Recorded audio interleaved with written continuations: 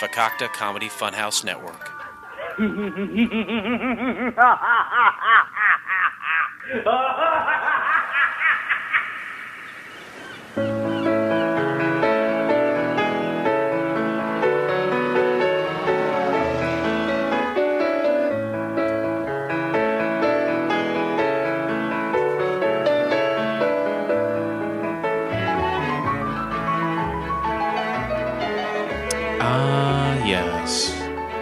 Welcome, all my friends, to Couch Pilots, the show that dares to fly into the unknown territory of awful television pilots of the past.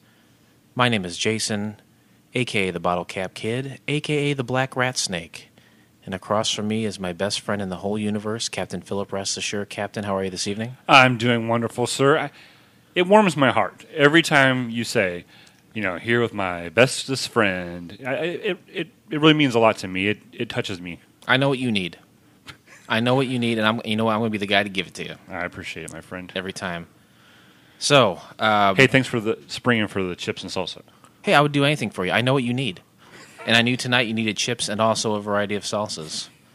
A quick plug for Moe's. Go to Moe's. Request just chips and salsa. They'll give you a, a, a complete ass load for $6.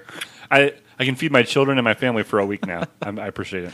I know what you need. I, part of me was like, do I do I give him three dollars, no, I don't want any money from you. or do I just say thanks? I don't know. I just want to I want to watch you eat the chips. I want to see the joy envelope your face. That's what I want to see. Then you came to the right place. And all of you listeners today, all of our frequent flyers, you came to the right place for failed television pilots. We're so happy you're joining us. As I mentioned at the top of the show, my name is Jason, and, and I'm, I'm going to be one of your pilots this evening. I'm going to fly through the, the great blue ocean of the air, and I'm going to do it with no one else than Philip Restisher. Exactly. We are a team. We've been a team for almost 40 episodes, Right. and we will continue to be a team until one of us dies. Which uh, hopefully will be sooner than later. I hope so. This, this life has got to end, right? I would hope so. It's taken forever. It is. It's not going well. So, um, you, you told me you had uh, a story about uh, DSJ, our tar- Tarmac John, the guy who works on our tarmac. Yeah. Um, the other day, um, I got a call from the International Tarmac Association, Okay. and they requested some information about Tarmac John. And it didn't seem like he was in trouble or anything. You know, they just you know asking about his performance, and Sure. asking about you know if he's saved our lives at all. And I was like, the, the, the times are countless. I think I filled out a similar form a couple months ago, and it was like tarmac license renewal, similar to the renewal you had a few Right. weeks back. So yeah, I hear what you're saying. and that's how they got my number is from you filling out the form. Right. And I guess yours was like step one of the process, Mm-hmm. and then calling me was step two of the process. But uh, come to find out, he got a uh, plaque in the mail the other day for being Tarmac Employee of the Year. Wow. Yes, and so There's an award for everything. right, um, and I was dumbfounded Right. because of all the tarmac workers in the world. Like if it was just like your regional, a regional award, that'd Yeah. be great. That'd be great. That'd still be good. Right. I mean, you should be happy with that. We would be happy with that. We'd probably give him a raise. Yeah. But now this is international. This is like all the tarmac workers in Taiwan, mm-hmm. all of them in Australia. He's better than all of them. And there's got to be more countries beyond those two. I, none come to mind, honestly, right now, but there have to be more countries Iceland. than just. Yep, that checks out. You got that's, that's, it for you. Yeah, You're that's all I tapped? got. I want to say Bul- Bulgaria, but Bulga- Bulgaria. Gay area. Get the gay area. So yeah, out in San Balls in the gay area.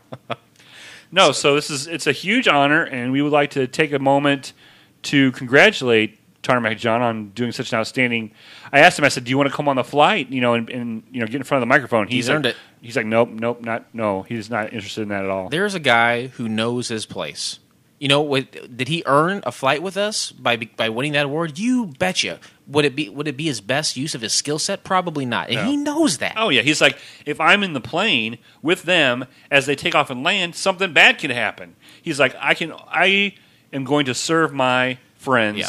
the best way possible, and I'm going to be right there on that blacktop in my chucks, waving Mm-hmm. Great those Chucks. yellow cones. Yeah, great chucks, and, and I don't know if you ever noticed this, but the uh, the the carpet match that matches the drapes. Oh, yes. he's got those bright orange chucks on. They match the golden cones that he's waving over his head. And I got to ask you too, because I, I didn't even know this award existed until a few moments ago. But now that I know that it does, does he have? Is there anything else that comes with the plaque? Does it, any kind of um, financial benefit or gift cards? Anything else? No, there's um, there is a uh, a trip, a free trip. Okay. And I don't know if it's. I think it's like he can take a cruise, a Canadian cruise, like a whale watching cruise, Oh, great. um, or he can go to Australia to a, a, a shark Okay, expedition. Canada, another country. I knew it. Yes. I knew I was missing one. Or he, yeah, and then the shark expedition where they put you in that cage and they lower you in. Right. Um, and I think there was another one, but he he hadn't decided yet what he wants to do. So I mean, you know, there's no raise or anything.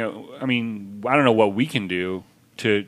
I mean, he's already making six figures. He's gonna he's gonna add that award to his resume, understandably so. He's probably gonna request a raise, rightfully so. He's well within his rights to do that, and I, I would be hard pressed to tell him no.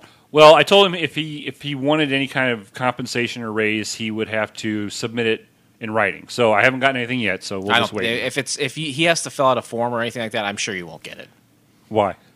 because he's uh, he's left handed and he has not found a pen that has fit his left hand properly. It's true. To my knowledge, that's Oh. how I understand. That's how I interpret it anyway. Anyway, congratulations to Tarmac John. Uh, yeah, absolutely. Round of applause. You absolutely earned it. We love you. And you're you're out there, and, and we we can say whatever we want about Tarmac John week after week and how great of a job he's doing. This award is proving it. It's it, oh, I, oh, I hear. I hear the feedback too. Oh no! Whoa. Oh my lord! Fixed it. And who's to say Tarmac John wasn't directly responsible for fixing that either? right. Incredible. He showed me. He said, just if you hear a hiss, I push the orange button down. Just like that. Well, he is stuck on that color orange, isn't he? Ladies and gentlemen, the captains have turned on the fasten seatbelt sign. All right. Uh, fasten the seatbelts. Yep. We're taking off. We're getting ready for the takeoff. Everyone get aboard, put your crap in the overhead compartment, sit down, and wait for further instructions. Shut your f- mouth. yeah, r- well, yeah. Adult. Wait, wait till it's an adult-only flight before we start talking like that. Okay. Are there kids on this flight? Uh, if you know, if it were up to me, there'd be no kids anywhere ever.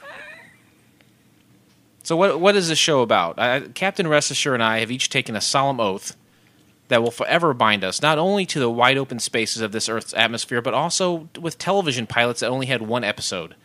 These failed pilots may be gone, but they are not for.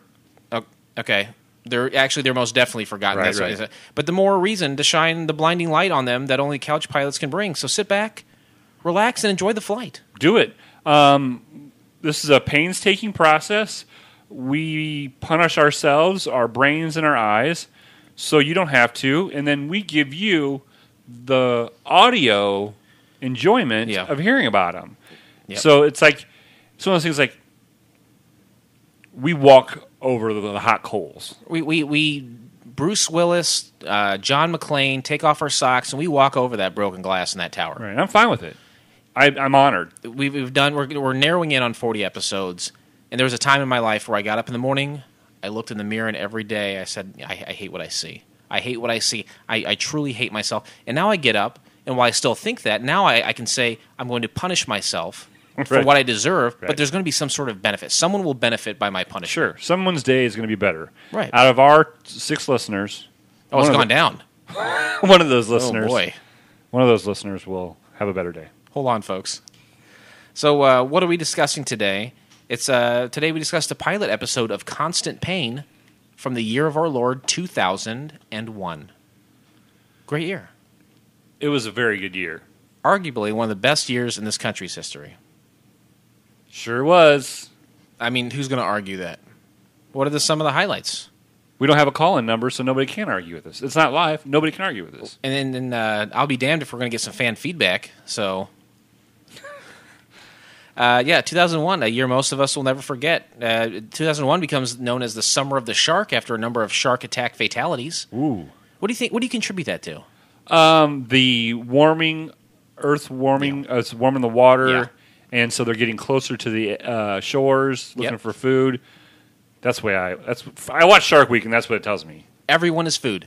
Every living Yeah. thing is food. Yeah, exactly. You're you're you're a fucking shark. Yeah, You know, I have a, I have a beta fish on my counter at home. I take the top off to feed it. Not my personal top off. I, I stay fully clothed. Right. But I, I throw in a little fish pellet, and he kind of looks at it and he goes, "Eh." But if I get those flightless fruit flies and I throw it in there, and that thing struggles on the water, it sends those waves. That fish wants that. He wants to eat something alive. Yep. Everything wants to eat something. It, it's it's uh, part of the the hunt, the hunter. Yeah, the circle of life, Yeah. the thrill of the kill, right? Yeah, Shark- I- I- sharks are no different. There's tons of people I want to kill. Yeah. And w- would it be thrilling for you to do so? In the moment, probably. Afterwards, it'd be a lot of, uh, oh, oh, what have I done? Well, how do I escape the, the The clutches of this big, huge, masculine man in prison. Yeah, kind of like that. Oh, so you're you're straight away planning on being caught. Oh yeah, yeah. you're not even trying to Yeah. come up with an idea of how to escape or get by with this. No, I'm too lazy to be a good killer. You go right to how I avoid being raped in prison. Boy, talk about circle of life. Um, the legendary racing driver Dale Earnhardt, who had won a record seven NASCAR championship, dies in a last lap crash during the Daytona 500 at the Daytona International Speedway. Yep, he was supposed to turn left, and he turned right into the wall. Boy, right in heaven, some would say. Eh, Oh hell! I don't know. He was the intimidator. Maybe his maybe his way of life and driving and intimidation caused him to go to hell, which I don't want. He was a good driver. That's cleared up right now. You're right. It was strictly the. Per- I don't have any ill will against Mr. Earnhardt. Just based on what you know about heaven and hell and how to get to each place. Yeah, exactly. But his son Dale Jr.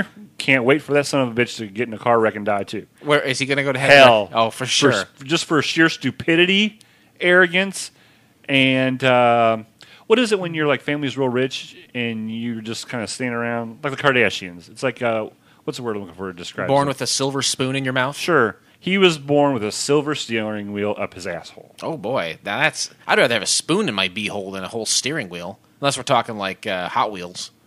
Then Yeah. I then I'd prefer the Hot Wheels. They were so little. Oh, oh, it'd be perfect. That'd be the per. If I were to stick any steering wheel up my butt, uh, the Leaning Tower of Pisa, Pisa, Pizza?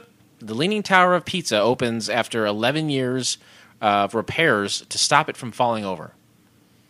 Now, was it was it originally leaning? I mean, when it was built, was it leaning? I don't think so. Or do you think over time it's done that? I think time so claimed it was just Tower of Pizza, yeah. and then over time, it's they're like, oh, looks to me like it's leaning. We're gonna start calling it the Leaning Tower of Pizza. Right, and people are drawn to that. I don't know what that building is. I, I have no real scale for how tall Yeah, it is. was it like an office building? Was it like probably an internet startup or something. I don't know. like the original Y- Yahoo or original AOL? Right, Possibly.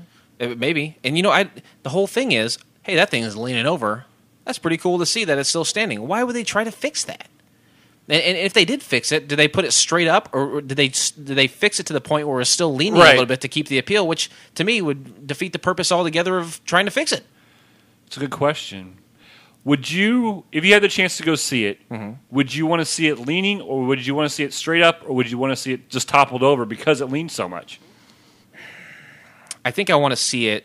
I don't want them to fix the base of it or try to bring it up. I just want them to like put a big rope around it to try to hold it in place. Oh, just put a stake, like a tent stake, on the other side. on the other side. Yep. Right, and then put a rope around it so they're don't, doing no real work because you know it's going to come back to the taxpayer who's going to have to pay for that. But still have the appeal of it leaning over. And you know maybe you make it a green rope, and then you can like use an app on a camera or something to take the green out, like a green screen. Or a clear rope. yeah, that'd be better. That'd save me from downloading an app. That's a good. idea. I like that idea better. Hey, I, I'm a thinker. You're full of ideas. Outside the box. Um, let's see what else is going on. Napster is closed down by the court after following an injunction on behalf of the Recording Industry Association of America, or the RIAA, as we both Sure, I- call it that's- frequently. Yeah. Uh, I love Napster. Never had. I honestly, I never had a chance to use it. I got in trouble with the internet at a, young age for pornography. Really? and I By your parents? Oh yeah. Or by federal government? No, I was underage at the time, so I, no matter what I was looking at, would would I would serve no jail time. The only, the only sentence I got was being sheltered from Napster. Huh. I used Napster. It would take like you would you would try to download like three songs, Mm-hmm. and you start at like eight thirty at night, and then you go to bed and wake up the next morning. It would finish up, and then like you click on it, and it was like, um, the Fat Boys, and it wasn't like Oh, Vixen. but that's not what you wanted to begin no, I wanted Vixen. What is Vixen? It was a band uh, with some girls in it. Okay. I don't remember what they sang offhand. I always thought it'd be Do you remember the Nelson twins? The the, Sure. the blonde, Oh, yeah, long yeah. blonde hair Yeah, guys. absolutely. I think maybe I tried to download them. But you never, yeah, that was ki- it was kind of a You- thing where it was, ju- it was just again the wild west of the internet. Sure. No one knew exactly what they were downloading. There's a name attached to it, but you never know what you're Yep, getting. it was dial up. It could have been, you know, I could have tried to open it up and it was a, a JPEG file Mm-hmm. of a pregnant woman um, with a dog licking her vagina. Why does it always have to be dirty? I, Why would that- why do you- why does it have to be dirty? Because the seven people that listen to us Have expectations. have expectations. Hello, friends. Um, what else we got here? Let's see. Harry Potter and the Philosopher's Stone, which is should be the Sorcerer's Stone. So it must have been a British website that I got this from. Uh, Shrek comes out. Destiny's Child. There- Was it, that's a movie? I know, but it should be Oh, you didn't break those up well enough. I'm sorry. As the as the host. Shrek. Shrek came No, out. you just said and movies, Shrek, and Shrek is a movie. I understand. I got you. Okay, Lord of the Rings, Shrek, and Harry Potter. A couple movies that came out that year. And you probably don't like any of that stuff. No, none of that appealed to me. So there's no use talking about it. All right, how about this? TV shows. Ed. Did you ever see Ed? Yeah, Ed had uh, Michael Ian Black in it. And T- Tom Cavanagh. Tom Cavanagh. I never, I never saw an episode of Ed. I was always, I always wanted to. It's not on DVD. I don't think, I don't think it's available to be seen anywhere. Hmm, maybe we should tweet our good friend Michael Ian Black and see where to get those DVDs. Yeah, I think that'd be a great idea. Dharma and Greg. That- that Dharma sh- was so show- pretty, so pretty. Jenna Elfman is just what a beautiful woman. Like back then, she was smoking hot, and she's still a very good looking woman. I but she's just she's a beautiful woman. Yep. Oh my god, that '70s show. That show sucked. That was stupid. That was the dumbest show. It was really dumb. Futurama. Did you ever watch that? I didn't really watch it very much. I know that you're a big fan of it. Yeah. Uh, the Sopranos over here. Did you ever see that show? The Sopranos over here. Yeah. They'd always say, "Hey, I'm uh, I'm, I'm eating some cannolis over here." So I, No, I, I saw the last episode, like the last five minutes of the last episode, and it was seemed really bland. Nothing really happened. There was no excitement. well, I mean, n- notoriously so. The last episode cuts to black. Right. So I mean, you probably Yeah, I turned it on, and there was a guy sitting there, and all of a sudden it went to black. that's not a very good representation of the show as a whole, though. You should you should try to watch. You should watch the show. Well, a lot of people just listen to this show for like five minutes and then turn it off. Yeah, that sounds about right. Because on Twitter they say, "Oh, they're you know they're uh, reviewing Hollyweird," Yeah. and then for a half hour we don't even mention Hollyweird, and so they they're like, "This is stupid." Yeah. Is that a signal? Are we are we to change format? No, not at all. Okay, good. No. All right. Well, enough of that. Um, and honestly, we mentioned a lot of stuff that happened in 2001. That's, about it. That is really about it. I can't believe so much happened that year. It was a good year for the Roses, Right. um, but I can't think of anything else important to happen. Me neither. How, how old were you uh, compared to when that was released? Now, last time you fucked me on this, Mhm. I was 26. Okay. Now, see, I was 26 too, so you couldn't have been. No. No, I was- you were I was 20. 20. That's right. You couldn't legally drink yet, and I was already an alcoholic. I didn't care. I didn't even start drinking until way after that. I didn't even care about drinking. You just care about getting that poontang. That's, that's all I cared about. That's why I'm. At that's wh- 20, what were what were you what was your main focus at 20 years old? Honestly, I was going to ICC and I was working, I think, a full time job, and I was still living at home. Actually, Nice. I, I moved out shortly after I turned 21. But yeah, I was yeah I, was, I had a girlfriend, a long term relationship, working full time and going to school, and that was my deal. Man. That was my jam. At you were 20. basically a 40 year old man. Yeah, I've been hearing that for you know probably a good 15, 20 years. So yeah, that sounds about right. uh, yeah, 26 though, right? yeah, Getting up there, divisible by 13. exactly. Like I said, need you know waist deep into my alcoholism. Right.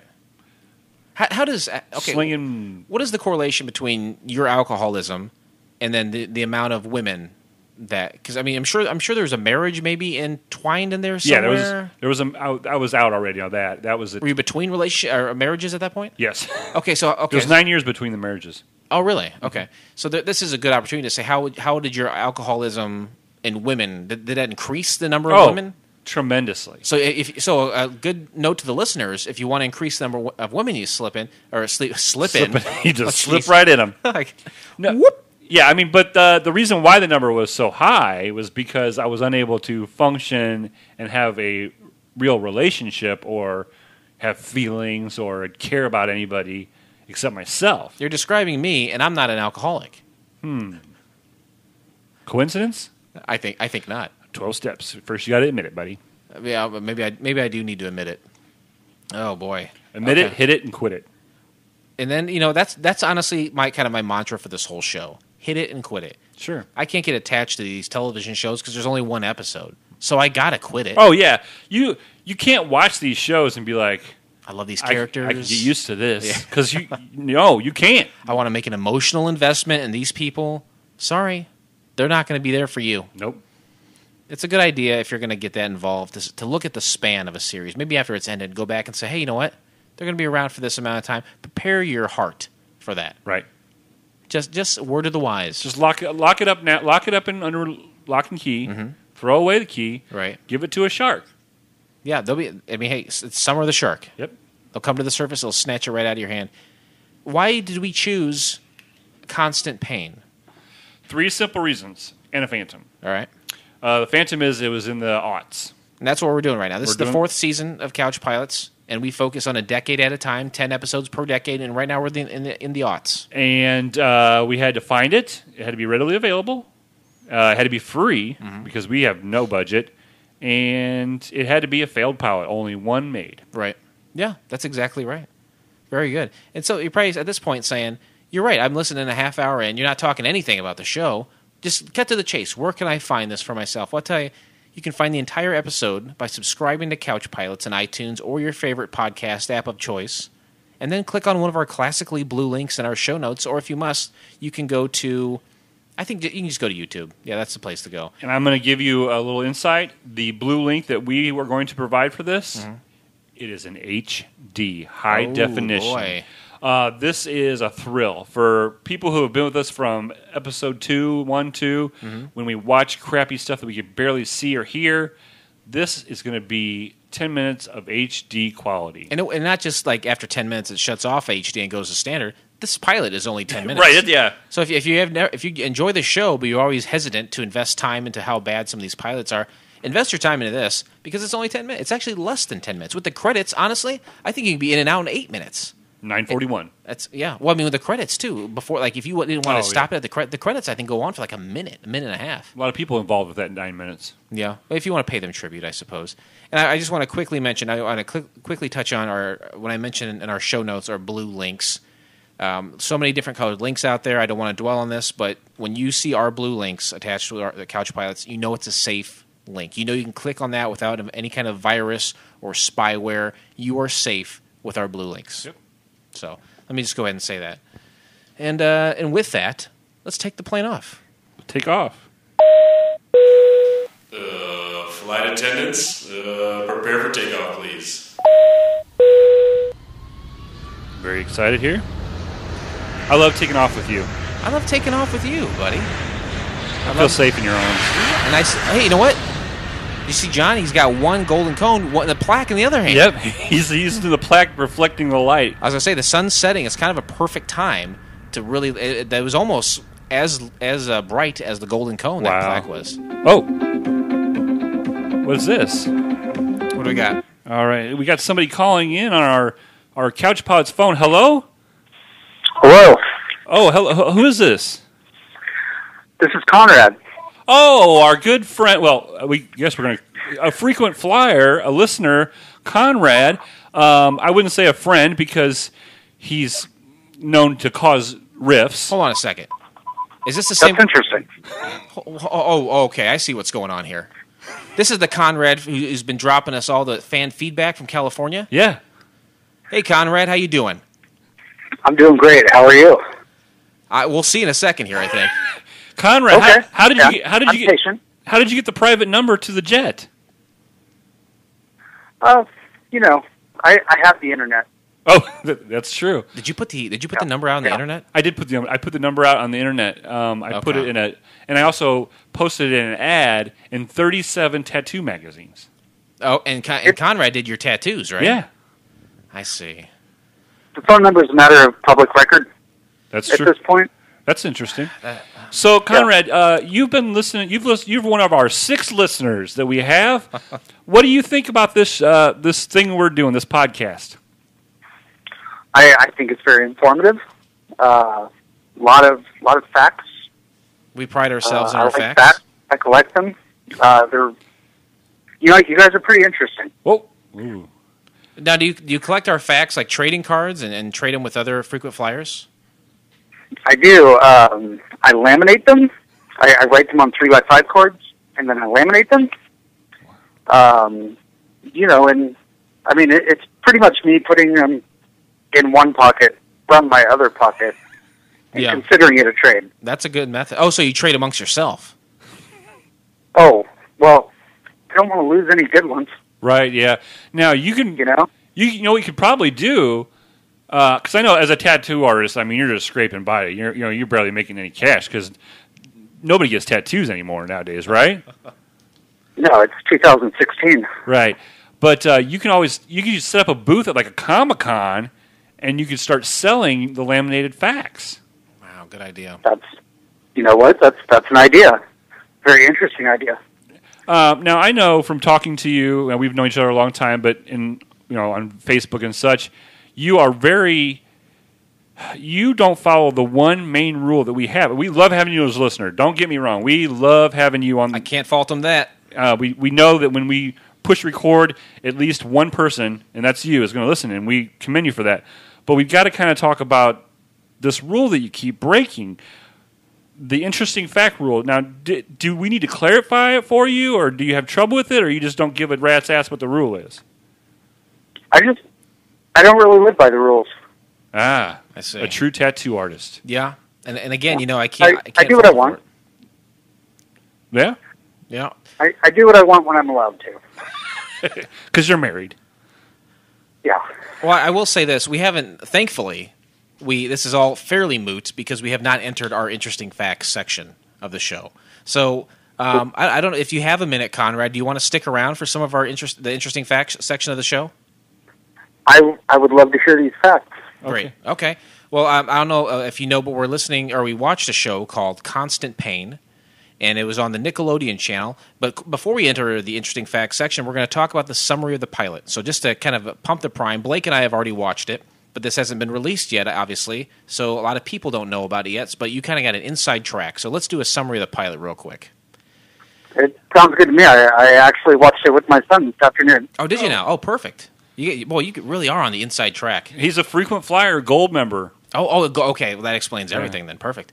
Uh, throughout history, when ordinary people find themselves under the shadow of evil, the Payne family has answered the call of duty. Now, Amanda Payne, the youngest of the next generation of the Payne family, is coming of age and preparing to inherit this awesome mantle of responsibility. Conrad, what do you think of that summary? Does it sound right? You know what? I feel a lot better now that I know um, that that's what the show was about. So, yeah, you, Uh, and you know he's right. Now that I've heard that, you know, it sounds pretty accurate. Yeah. All right, all right. So, so we just want to make sure that we're we're coasting in here. We're gonna Yep. we're getting ready for the interesting facts section. Now, again, Conrad, I I know you know the rule, but I got to go over it with you because of all the listeners, if you don't mind. Oh man. Okay, so oh man. This is the interesting facts section. Jason has scoured the internet mm-hmm. and has found a number of facts dealing with Constant Payne, and he's going to read us those facts. But what we're asking the listeners and Conrad, we're asking you, please don't give us your opinion on these facts. Just absorb them, take them in, take a breath, and then if you want to like you know do a little doodle sketch or something like a like a tattoo or something to, to, to represent your feelings for it, that's great. But just don't tell us that they're interesting, okay? I'm not going to lie, guys. Um, I am so excited right now. You you I, sound you I can't be held responsible. you sound so excited. And, and, you know, I, I will say, you know, part of the burden lies on us because again, we, we judge the facts just like in golf. We we play them as they lie, but Right. but to some degree, we know how interesting they're going to be. So to some degree, we do take responsibility, knowing that Conrad is is about to hear some fairly impactful facts, and I don't I don't want them. It's not fair for him to try to hold it in, but it is what we ask of our listeners. So um, let's go ahead and, and read a few here. Uh, this pilot was never greenlit for a TV series for two reasons. The first is that it was meant to have aired uh, in the fall of 2001. H- However, after the 9 11 incident, TV networks were sensitive in airing shows and movies that reference aircrafts crashing into a building. so Nickelodeon canned the proposal for a TV series made based off of this pilot. The second reason it was canceled is because the creator, Micah Wright, was uh, suspected of uh, spearheading a plan to unionize the Nickelodeon writing staff, which Nickelodeon didn't approve of, so they shelved the series as punishment. Wow. There it is. There, there. One, one whole fact. All right, Conrad, how are you feeling right now? You good? Well, you know, uh, I'm not going to lie. That's pretty interesting. Oh, God damn it! I'm I'm sorry, guys. Uh, it's the way I feel. Um, I'm a passenger. I'm not a pilot. Right, right. Because we went to school. I'm not a pilot. We went to school for that. Oh man, um, We, we, we know. mind is yeah. blown. Right. Mind is blown. Well, Conrad, I think before we go on to any more, because like I said, your mind is blown. Uh, y we love having you. Uh, we're very, very happy to have you as part of the frequent flyer program. You've got thousands and Wait, is this is this still is this still part of the interesting facts segment? I've got one more fact here in a second. Can you handle one more? Uh, I'll I'll try and keep it together. Okay. All right. Uh, had this aired on Nickelodeon back in the fall of 2001, it would have been the first anime based, action oriented cartoon in its history, as well as the first anime based Nicktoon. Oh, you shut your mouth. Wow. Whoa. I, Wow. I, uh, man, I know Uh, I know the kind of feelings that these facts can evoke. And I know you know not to put any kind of qualifiers with them, but you're doing it and you're really testing the limits of my patience right now, Conrad. I, I know we appreciate you as a, a frequent flyer, but I don't, I don't know why you, it's like you you want to punish us even though it's obvious that you love us. I'm just going to say I'm in I'm in uh, trading card heaven right now. Do you know what I can do with all these facts? What, what are you going to do with them? Well, I'm going to write them on cards and then laminate them. and then put them in your pocket. Yeah, For, yeah. for safekeeping. Maybe maybe I'll send some to you guys. Uh, doubles, of course. Oh, yeah. Uh, Comments. Uh, we'll take the comments, please. yeah, definitely the comments. Conrad, we're going to have to let you go. We got to we got to really pay attention to the flight. But real quick, you say you watched it with your son, which is great. Spent some quality time with your ch- kids. That's wonderful. Um, thank you for incorporating Couch Pilots into your family's life. Yes, thank you very much. It's uh, it's become part of my daily routine. Honestly, guys. Awesome. Well, um, real quick, what was your rating? One to seven. Oh, Um, I'm I'm going to give it a three. Okay. Okay. All right, Conrad. Thank you. it- My son would have given it an eight, though. Oh yeah. Oh, nice. Well, we'll take Just a heads up. we'll take the sun and then yours and the Holy Ghost. and the Holy Ghost. So we'll we'll give we'll say you gave it a five. How's that? That that's fine by me. All right, buddy. Hey, thank you for calling in. We got to get this plane uh, back onto the right latitude and longitude. But thank you very much for the time, man. I appreciate it. Thanks, Conrad. Thank you, guys. It's been a great flight. Take care. Thanks. Bye. Wow, nobody's ever used that number before. Yeah, it did, you know, just like the donate button on the FCF network website, I thought it was getting a little dusty. right. I was like, why did I make that number? Just like, why did I make that donate button? Nobody ever touches it. I actually I, I didn't know that was a phone. I just saw I heard the buzzing and I saw kind of the vibration and I didn't realize because it's one of those old style like 1970s Air Force One style Right. telephones. Incredible. Well, I, I thank I thank Conrad profusely for calling right. the number for spending his time and his, his thoughts on this uh, pilot, but at the same time, I don't I don't know why he I don't know why he does that. I, you know, I think he's toying with this. Like I said, he is a tattoo artist. You know, he's a bad boy, and I think he just he lives by his own rules. He has his own credo. He has his own credo. Um, yesterday, as a matter of fact, I was wearing a Folsom Inc. T-shirt around around the town, Yeah. um, giving some free advertisement for him. And it's ironic that he called us, but I think maybe we should take a flight to Folsom. Sure. And go see the prison, obviously. I was, I was just going to ask. So that's where the prison was. Yeah, it was- now he was a tattoo artist. Did he? Uh, famously, Johnny Cash sang at Folsom. right. Did he? Did he ever tattoo Johnny Cash? No? I don't. I don't know. He did not. Bummer. But he had tattooed me, which is like really super close. That's about as close as the John- like you are the modern day equivalent to Johnny Right. Cash. So maybe I mean I'll, I'll talk to him afterwards. But Right. Mm-hmm. maybe if we fly out there on a flight, maybe we can get some free tattoos. We should get some Couch Pilots logo tattoos on our foreheads. You want to do it? I, I was going to do it like right above my nipple. can we incorporate the nipple somehow? Like tattoo the nipple on the forehead. Yeah, can we tattoo our nipples on our forehead? oh, you mean incorporated in the design? I'm sure he, That'll work He's too. an, he's an, he's the, he's the amazing artist. He's the one that did my um my uh, IBWIP urinal. Yeah, that's very good on your on your leg, right? Do you think anyone's ever had like a third nipple tattooed onto them? I don't know. We should. God damn, we should ask him. Oh, Hey- hey, and we only receive calls on that too. We can't call out right. Hey, have you ever thought about getting your inside your lip tattooed? every day. Every day I think like about if that. we get s- we get a C and a P. Oh, inside? Yeah, on I, the I always inside. thought I'd put welcome there, like uh, unfold it like a welcome mat. But I like your idea better. All right, cool. Well, that was interesting facts, and so Yeah, segment closed. Uh, Conrad did not closing wait. the book on Conrad. I hope not. No. I hope he continues to listen, and and no matter how horrible these pilots are, I hope he keeps watching with his boy. Now, let's break down the pilot of Constant Payne.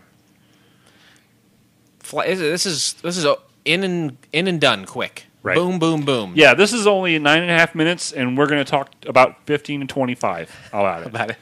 We'll go. Hopefully, we'll go a little quicker than that.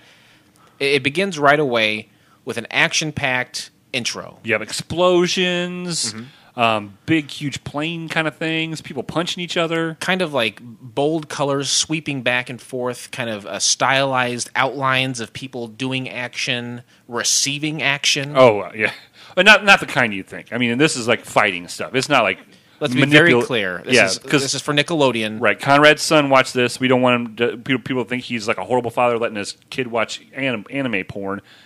They were in physical aggression. Yeah, I don't think we have any pilots for an, uh, I almost said animal porn, but anime porn uh, porn for next uh, next season. Hmm. So we'll get into that at a later date.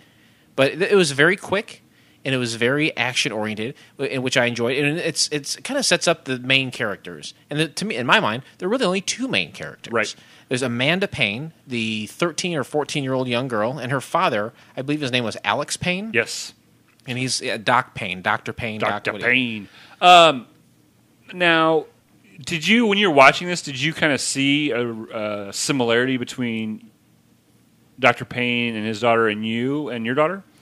Yeah, I, I mean, Dr. Payne and I have a very like. Okay, just to set the scene so people know, roughly, I bet he's about six four.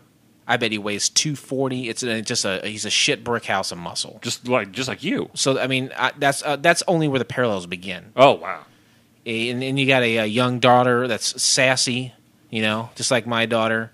Um, and he's got just streaks of color in his hair. He invents uh, crazy inventions. So I mean, almost I feel like Micah Wright, the creator of Constant Payne, just ripped a page right out of my life. Wow. It's amazing. And it, it makes you like absorb yourself into the show knowing that it was so close to you. I, I was looking at that feeling. I mean, like, did I? Is this? I don't remember living this. Right. And it was a cartoon. Right. Now the first scene is she, you know, she's going to figure out what she's going to wear to school, and she goes up to the computer, Mm-hmm. and the computer's showing her all the different, like the the tops and the bottoms that she could match up. She matches them up because there's like a hologram that shows what she would look like. Right. Pushes the button. Boop boop. Look at that. It reminds me of Clueless. Do you remember that? Dress for Six- of- yes. At Clueless, she had that huge thing. She had a computer program with doing a very something similar. And right before the scene where she gets dressed, it kind of pans over a city. Mm-hmm. And it's a very futuristic city. It doesn't give a city name. It's not like, oh, this is a futuristic New York. It's just, hey, this is where we are.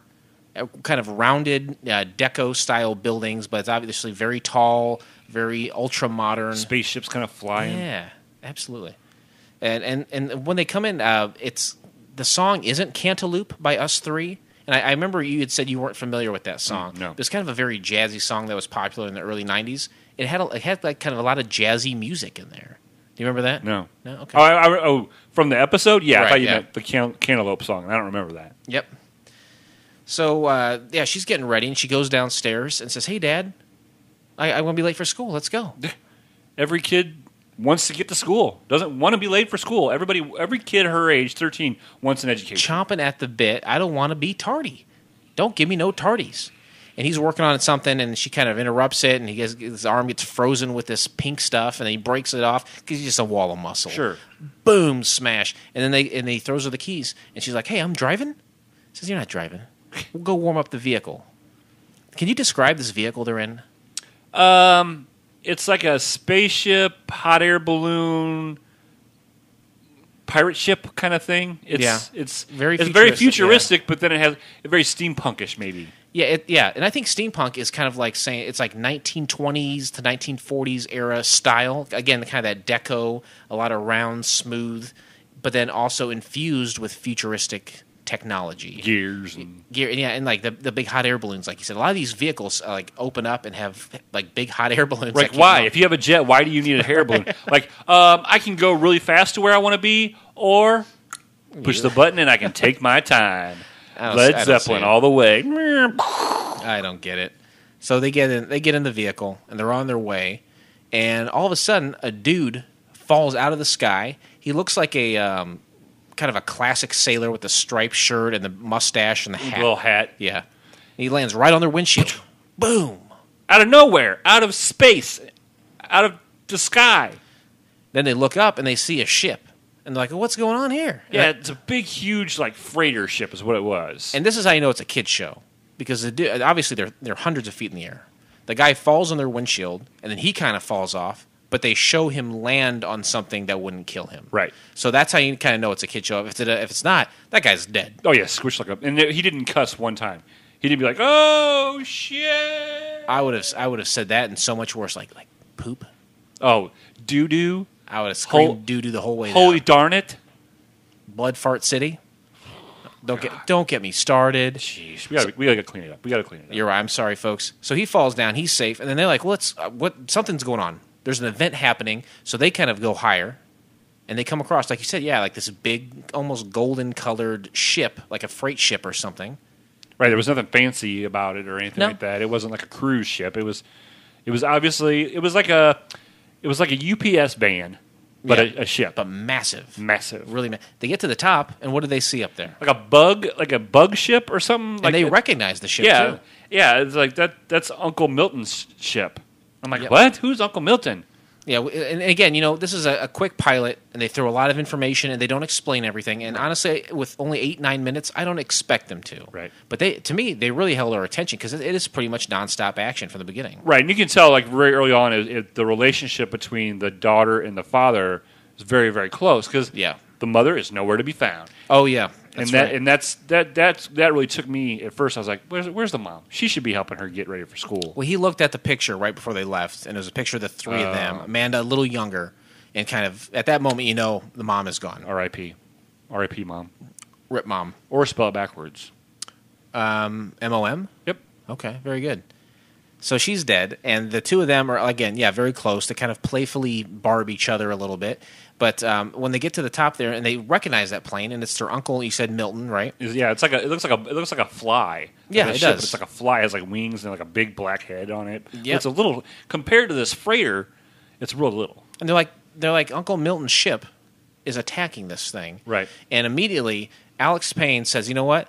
I'm gonna take care of this. Yeah. This is my this is my family. We shouldn't. We, we take care of our own trash." And he jumps Yeah, from this plane. Yeah, th- there's no like like if we were to open the window of this ship right now, Right. we'd all be dead. We'd be sucked out and yeah, destroyed. But in this cartoon, you can open windows, you can jump off of your plane and just land on another plane. Like he didn't just, you know, he didn't bring the plane down, you know, right on Right. top of it and then Yeah. jump out. And, you know, he just said, "I'm not. We don't have time for us to land on this thing. No. I'm jumping off." We're probably two, two and a half minutes into this episode at this point, and this is where the parallels between myself and Doctor Payne end. Oh. Because you won't find me jumping out of some, you know, Godforsaken steampunk. steampunk Yeah. ship. Thank no you. way. I wouldn't let you.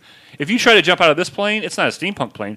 But if if you were trying to jump out of this plane, I'd be like, no, Jason, you can't do that. Right. Uh, Conrad on the phone earlier made it very clear that he was not a pilot. He was just a Sure, passenger. yeah. And it- but you and I, we we've taken the courses. We know that if someone tries to jump Yeah. out, we stop them. We went to the Phoenix Online University, got our pilot's license. yeah, you'd be hard up to find a better online school for pilots. Oh, uh, Fitzgerald, Right. NFL football player, he got his degree. yeah. If it's good enough for him, it's good enough for us. Agreed. So he, Dr. Payne, he lands on the ship. He kind of, uh, they're holding a few people hostage. They're about ready to mess him up because they, they threw that guy off the plane. Right. They they tossed him off. Instead, you know, again, you don't want to see him shoot him or chop his head off or anything. They just just throw him out into the abyss of land. Right. Then all of a sudden, her dad starts just kicking everybody's ass. Uh, big time. Just, I mean, there's one of him, and there's about 50 of these guys, and he's karate chopping, kicking, you know, power punching because he's Yep. like a brick shit house. German suplex. And then one of the guys falls out of the plane again, lands on top of um, Amanda on because all of a sudden she's driving the plane. The last thing Alex said before he jumped, he's like, "Put it on auto autopilot," and he leaves. He never said, "Hey, I'm going." He never said, "I'm going to go jump out of this thing." He just does it and says, "Put on autopilot." So she's kind of drifted along there, and yeah, one of those uh, henchmen falls right onto their her aircraft. with that with the box didn't it didn't I think the box goes first, and it lands on the back. There's some Right. there's some crate that they're after. There's something in this box, and we don't know what it is, and it's landed on the back of Amanda's plane, and then the henchman gets thrown right onto that very same plane. she starts kicking his ass. I mean, even at 13 years old, she's punching and kicking just like her daddy. She gave him the benefit of the doubt. He punches through her windshield. He pulls her out of it. Right out of Pretty little, violent. He he punches a little hole into the windshield and sucks her out of that little Yeah. hole. And she like karate chops him off, and then she like grabs him by the suspenders and brings him back. And then he tries to attack her again, and she says, "You know what? No." And he and she kicks him right off. But then, of course, his parachute opens because he's not. No one dies. No. Um. There's no such thing as gravity. No. There's no. It's all just a big farce. At 13 years, I, you, it's amazing she can kick so much so much ass and not be scared. She did. She wasn't shaken like most 13 year old girls would be in the, you know, uh, in the plane. What, what do I do now? You know, And it's not like she just whipped her hands out there slap style. She took Oh. a practiced stance against this man. She Yeah. took a, yeah, exactly. She was taking Krav Maga or something. And then Tim McGraw, Tim, she was taking Tim McGraw. Indian outlaw. platinum. uh, in, in back inside, uh, Doc continues to whip ass throughout. And at this point, the parallels between myself and him end, but the parallels between him and another show that I enjoy uh, called uh, The Venture Brothers. That was um, is and maybe or was or maybe still is on the Cart, uh, Adult Swim network. It's a great adult show about. It's kind of a take on um, the Hardy Boys and like kind of Jonny Quest, where you have this doctor, these two boys, and then they got this tough bodyguard, and he's a cussing, sex having, mega ass kicker. Sounds a lot like me. Just uh, sounds exactly like you, Man. And that's what this guy's doing inside. He's kind of a culmination of these characters, and they're just whipping huge ass. And he's also he's a smart dude too, so he creates stuff. And and to me, I don't know if you have you said you've never seen Venture Brothers, is that right? No, I have not. And, and you're not much of a cartoon guy, probably. No, not really. No. I, I, I, I find it a little. A little childish. Little childish. I'm sorry. Sorry. I enjoy Venture Brothers, and I think I there watch are a lot of anime porn. Does that count? I, s- I mean, yeah, I guess so. Okay. All right. Cool. W- Any kind in particular you- you're into? You like the tentacle stuff? Yes, tentacle stuff all the way. Yeah. Um, to me, it's an art form. It's, Sure. Uh, sure. it's not about. Yeah. It's not about manipulating myself while watching it. It's about watching it and appreciating the artistic uh, endeavor. To a degree, I have I, I understand because you know you ha- there has to be a certain understanding of the human body and the ability to, you know, and, and, like fully get that on the screen. So I, I I I understand what you're saying. I digress. I apologize. No, that's fine. Uh, he's he's kicking some butt inside. They go back to Amanda outside. There's another dude on the side of the plane, and she pulls his ripcord, and he flies away too. Yeah. So now she's just drifting through the air, trying to keep pace with this this mega freighter. So in case, when her dad, if he appears again, she's able to help him. Right. She doesn't. You know, she can't see him. And then uh, he. So the the dad meets up against the bad guy, face to face with the bad guy, and it's again, it's Uncle Milton, and he's like, you know what? We're not going to. You know, you're not my family anymore. You're not. You, my family doesn't do this. My brother wouldn't. My do brother it." died a long time ago. Right. You're not. You're whoever you are. and I and I wish mine had to. Maybe you should send him a link. Maybe you should send him a blue link of this show. He's an and- idiot. He couldn't even. He couldn't even. He could not even click that link to watch Oh. this fucking video. I was gonna say maybe you could get the subtle hint, maybe not. But this, I, I tell you, some of the artistic uh, integrity they took with this, it's like his hair goes up. He's got hair kind of wisping on either side and a long beard, and all of them have got like a, a white streak through them. It's very stylized. And, and his his brother clearly the brains and, and the bronze and the the bad guy I think is mainly brains too. He's Sure. a smart guy, and so he comes at his brother and then he shoots like this this green ray at him. Or Yeah, something. this like electric beams come out of his hands. And Yeah. Why is it? I mean, we watched a lot of stuff where it's green, green, lasers coming out of the eyes, coming out of the you know. What's what's the significance of green? You think? I, I honestly don't know. I think you look at some of the evil characters in like Star Wars; they all have red beams, and some of the, some of the good guys have green Red beams and rice don't miss her. right? That might be a key. in uh, in Heat Vision and Jack, he had green Right. eyes, right? I, I don't know what it is. Maybe uh, people tie it to aliens, Sure, or be. something from beyond. So you know they they they start battling each other, Mm-hmm. and and like I said, the brother is shooting these green rays, and everything is blowing up around um, Alex, Alex Payne. Um, so he starts running, you know, and boom, boom. It just seemed like it was like it was all these timed landmines, but actually it was he, his brother was flinging these green electrical currents. he had started this series like a domino Sure. effect that's taken down the whole thing. And after he does that, a chute opens and his brother falls out the bottom to safety. He falls out the bottom of the ship. Milton, Milton. does right. But you're right. He's running through just like Indiana Jones. All Oh, these yeah. perfectly timed explosions where he's running, he's jumping through closing doors, and then finally he uses a gadget to like pop out the top, where he sees his daughter. But also over there, you got Uncle Milton who landed on the plane as well. Everyone's landed on Amanda's plane. Every it's like a plane magnet. Right.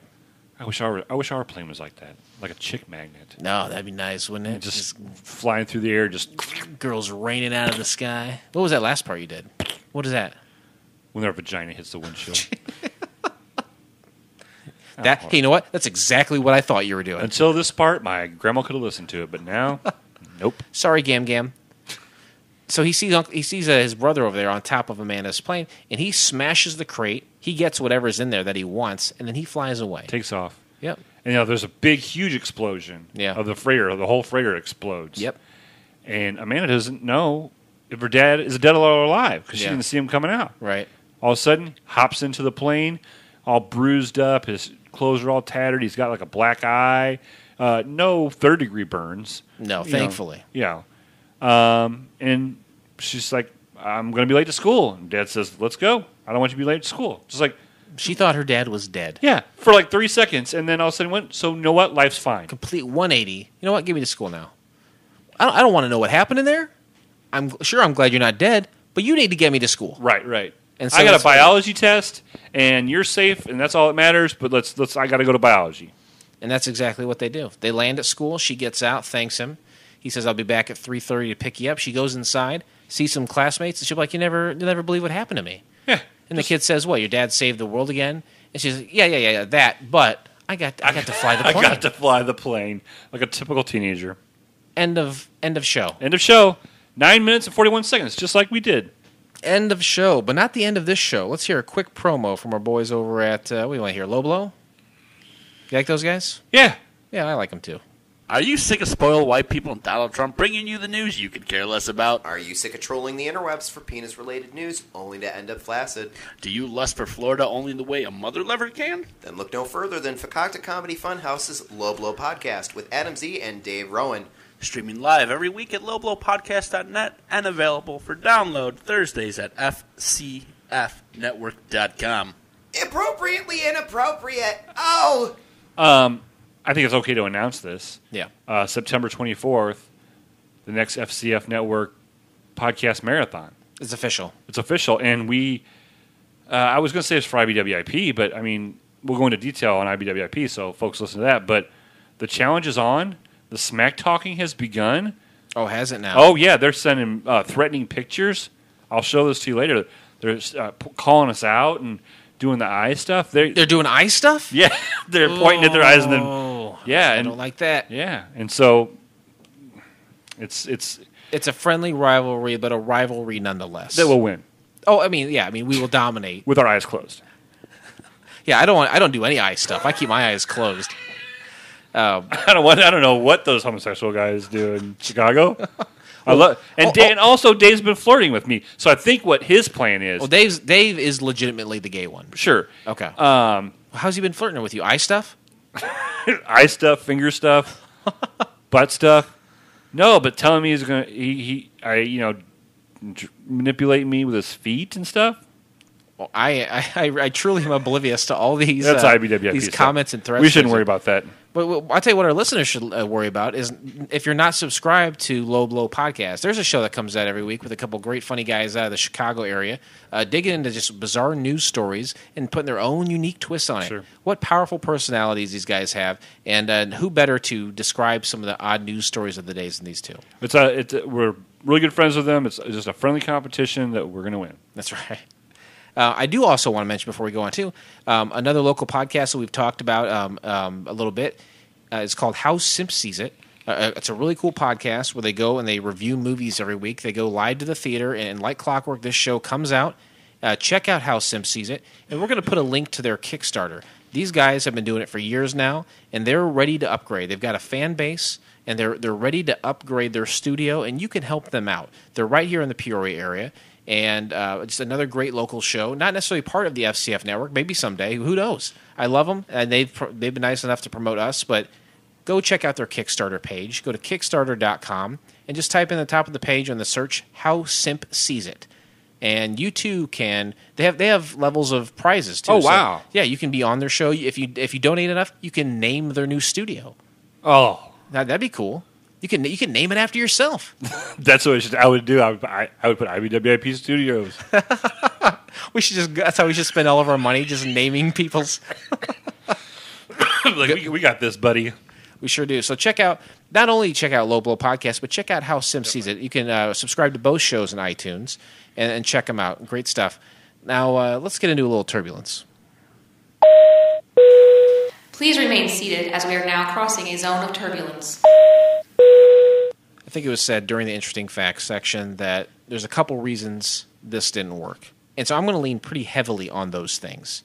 And that is that the show came out around the time of 9 11. Right. And there's a lot of violence and plane I would think that you would have said something about that at the beginning of the show, like when you were going through like oh stuff that happened during that year. I would have thought you would have said Oh, something the okay, the portion where we kind of set the tone for put Sure. put our viewers in the mind of set you- of yeah. Why? um, you know 9/11 to me. First of all, inside job, right? For sure. So it's an inside job. So to me, it it cancels it out. Were a couple thousand people killed? Sure, but a couple thousand people die every day, right? To me, the events of 9/11 is very trivial and didn't really have repercussions on Wow. that day or any day going forward.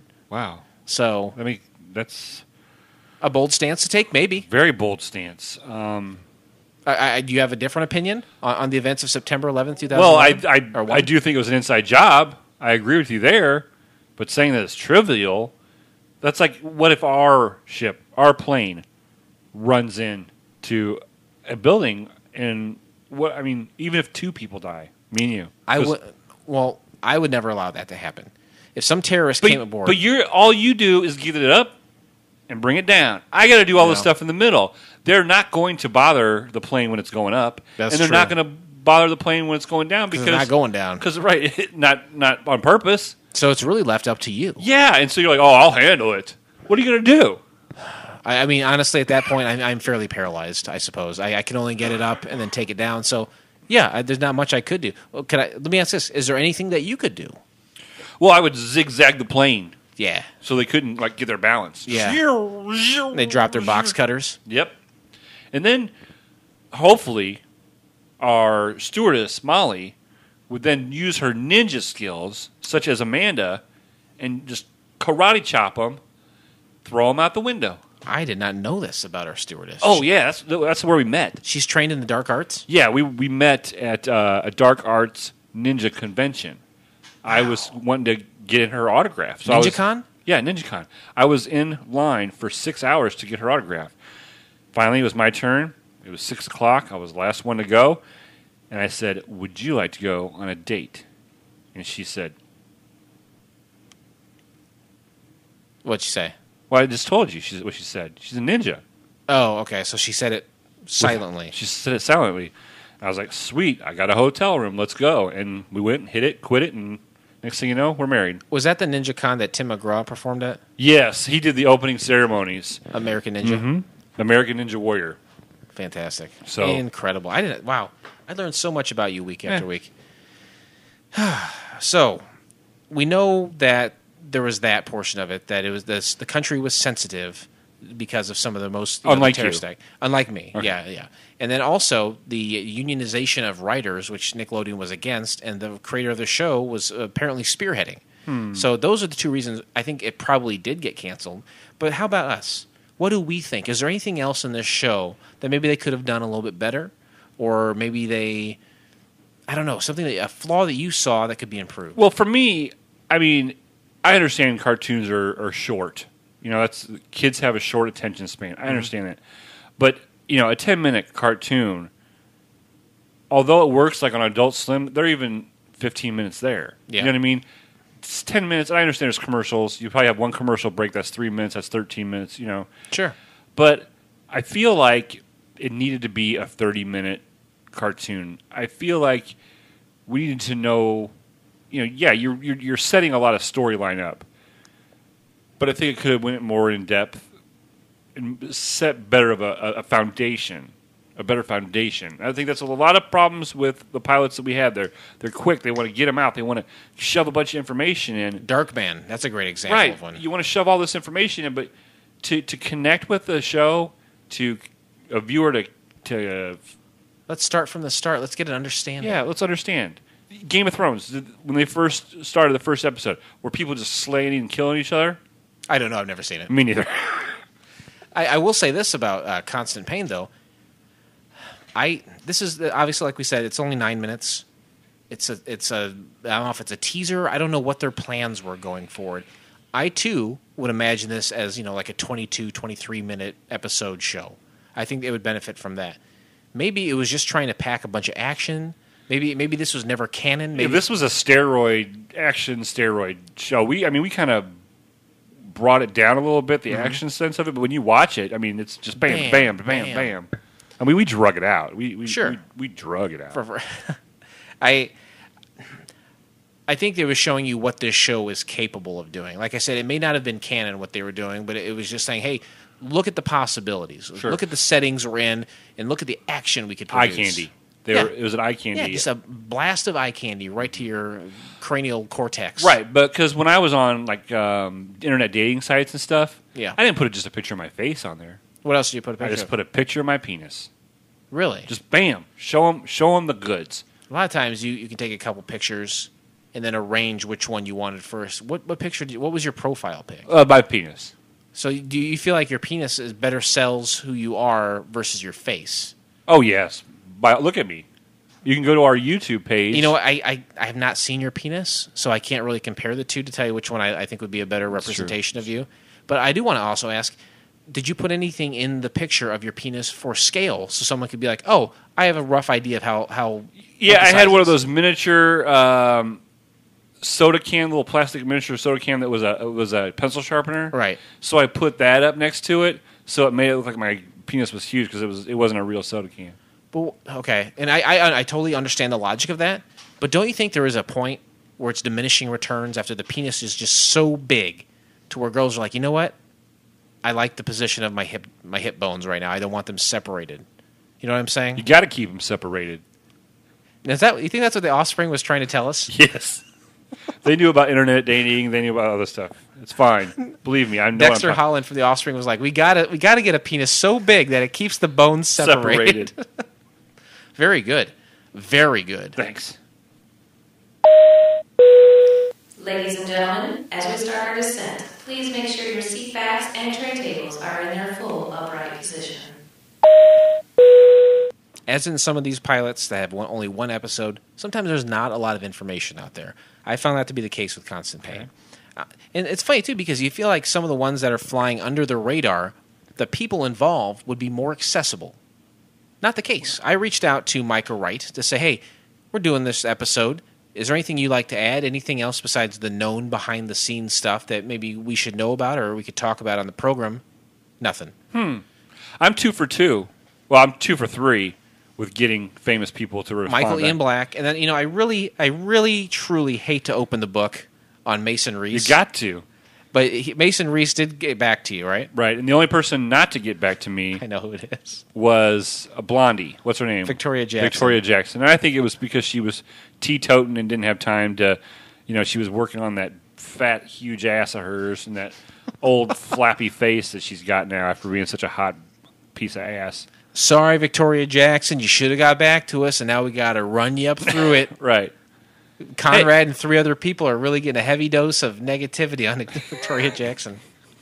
It's going to change their lives and their views. But that's all right. Well, he may he may he may still get back. To May he us. rest in peace. May, and may may Mike rest in peace as well. Go to IMDb, score of eight. That's Wow. a pretty high score. That's a really high score. There's not a lot of scores on it. Like I think there's maybe six, seven people had rated it. That's a high score. Very high. One review on there. Someone gave it ten out of ten scars. What they say? Uh, a glimpse into a new series that was short lived and before it could even launch.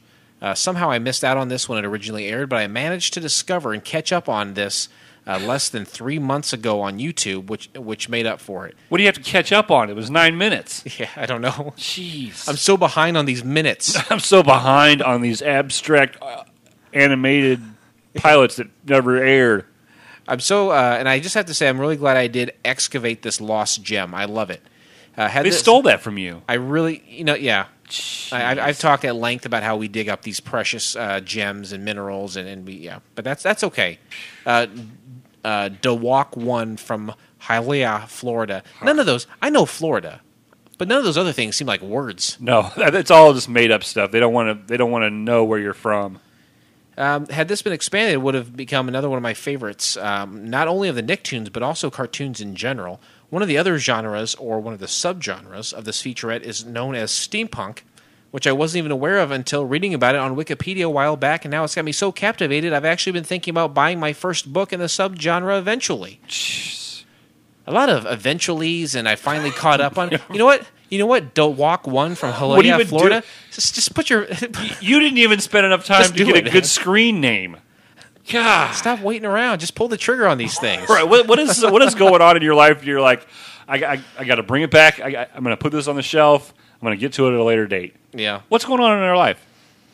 Yep, yeah, I uh so I read through the rest of this and he's kind of crapping on modern day Nicktoons, which again someday will someone will look back as classic. It always is like that. But he he really likes the series and I can't say that I blame him.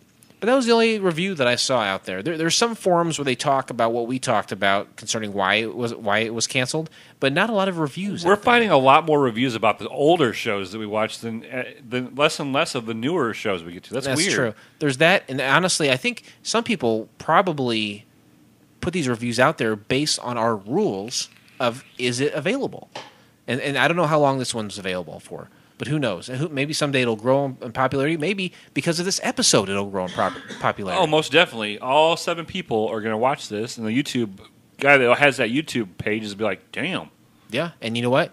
You can thank the couch pilots. Catch Pilots bump." Ladies and gentlemen, welcome to FCF Airport. Local time is 11:11 and the temperature is 69 degrees. For your safety and comfort, please remain seated with your seatbelt fastened until the captains turn off the fasten seatbelt sign. I grew up playing with Lincoln Logs at my grandparents' house. You ever play Lincoln Logs? Yeah, I used to stick them up my pee hole. Oh my god! Every Just it- it- yeah, go ahead and no, okay, Just that's fine. We're still gonna move past that. Okay. I'm not sure what. All right, sorry. I'm sorry. Lincoln Log, Yeah, Lincoln Logs, uh, free from any. great to put up your pee hole. Now you see, you went right back to it.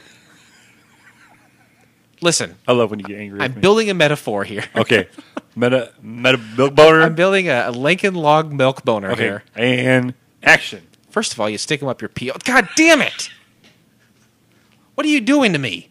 You're changing me in some cor- sort of Dr. Jekyll and Mr. Hyde Lincoln log in my pee hole. what I was going to say is that this show is like building a Lincoln log cabin. You got to set the base, you got to build it up, you got to create some windows, you got to put the rafters on there. You slowly, we're, we're building Right. an entire, we're painting an entire picture for you here. And the last thing we do here is we look towards our our system of rating. And it's the little chimney at the end. We just put the little wooden chimney at the top. And that's what we're about to do now. We're going to put the icing on the cake that is this log cabin with our ratings. All right, let's do it. It's a one through seven rating. We take it from all the classic characters from the television show Wings. Uh, the one score is the worst one you can get. That relates to the character Roy Biggins, who's a big fat piece of shit. We hate him. We hate him hard. I hate. Oh God! You know what? If I had Mr. Schramm who played him, if I had his address, I'd go up there. I'd beat him over the head with a wooden stick. I swear to God. Oh, I do an aluminum bat.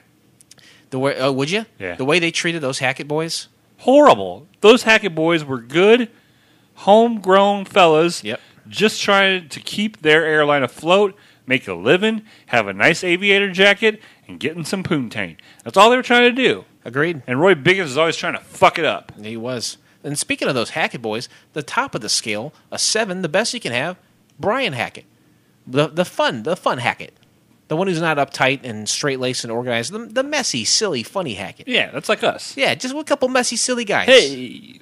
So now I turn to you, Blake. Using our wings scale, how would you rate Constant Payne? All right. On a prior recording, I gave this a very low score. Mm-hmm. But after having two weeks to think about it and watching it over again, Right. I'm going to give it a four.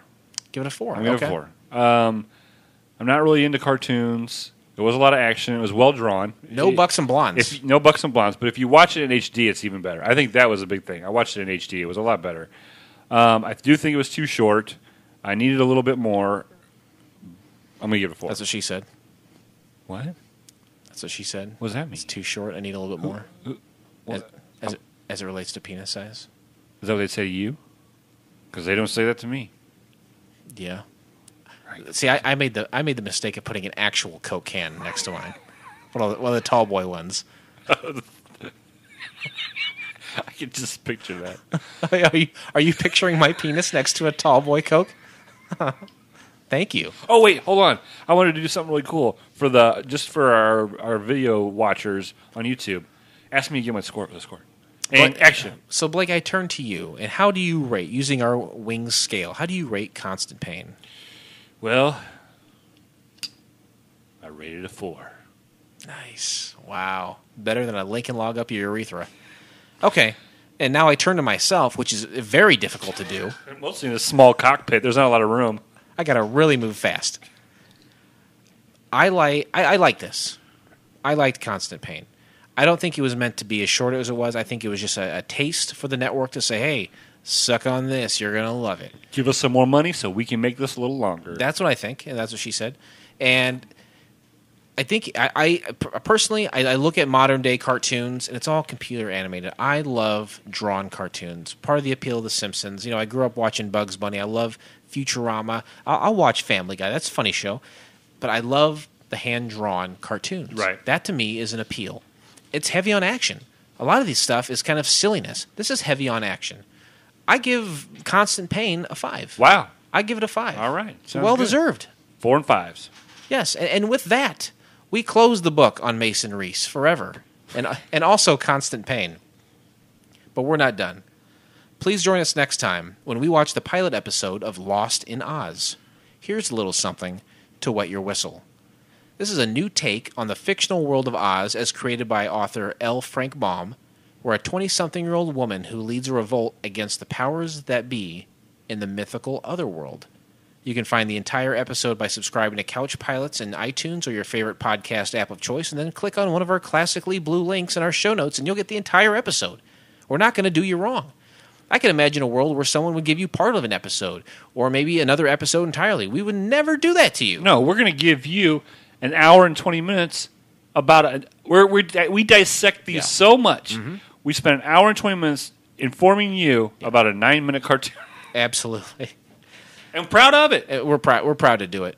Or We, actually, to be honest with you, we spent two hours and 40 minutes because we recorded this once already and it didn't work. little peek behind the curtain, which goes well with Oz. Ah, very good. Uh, and if you like that, and so it's so much more available on YouTube. If you don't want to subscribe to our show, which would be silly, you can search Lost in Oz pilot on there as well. Um, Couch Pilots Podcast at gmail.com. Go to uh, go to Twitter, search Couch Pilots Pod. Go to Instagram. There's a thing associated with us on there, I assume. Yeah, uh, we post all the show art from the IWWIP one.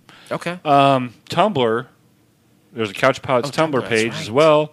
Um, iTunes, this is very important. Conrad, tell everybody in California to go on iTunes, give us a rating. everybody in. California, they they have nothing better to That's do. a tall order. There's no rain. Right. So they can't be swimming. Rain often stops me from getting out and doing things or contacting people. Exactly. And he does not have that obstacle. No, he doesn't have the obstacle. I know, like he said, it's 2016. Nobody's getting tattoos anymore. The inkwell is dried up. Exactly. So Conrad, go out in front of Folsom Inc. Mm-hmm. and just start hollering Couch Pilots links. You know, Yeah. HTTP semicolon backslash backslash www dot Whatever it is. whatever. Whatever we send you and you ultimately put on that sandwich board and then scream out. I you know what that would be a cool tattoo is to get Our links tattooed on our the back. links tattooed on the back of our legs, so someday. people behind us can see them. And you know what that is? That's coming. That's coming down the line. That's wearable technology. High five to that. High five it. nice.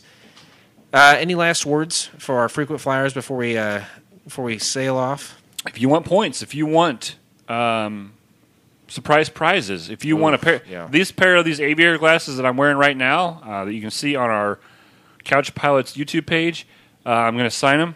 You're going to sign them as I'll soon as it's over. sure. Yep. Fan feedback, emails, reviews, l- shared links. You accumulate points. We have a, a drove of people ready to sit in this chair next to us, and we want you to be part of that. If you're a frequent flyer, then you've already heard some of them come in here. You've already heard of some of the prize distribution distribution that we've done. Signed aviator glasses. Uh, to me, the most valuable one, the surprise prize. Oh, definitely. You don't ever know what it is. It could, right. We could pull up in the jet in your driveway. Yep. You don't know. Just just email us and say you won a surprise prize. You got it.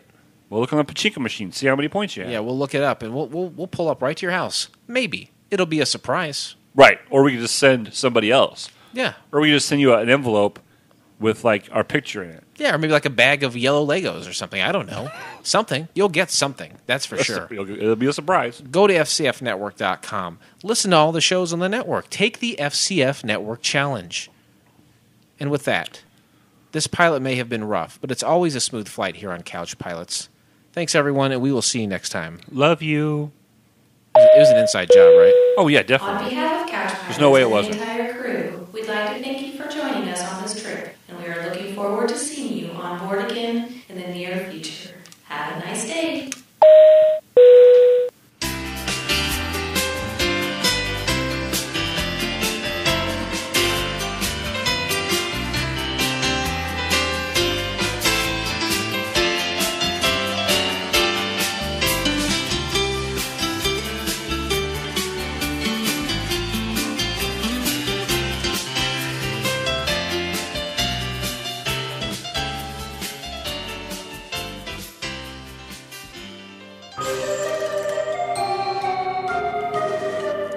This has been a Fakakta Comedy Funhouse production, produced by Jason Tosher, executive produced by Blake Clayton.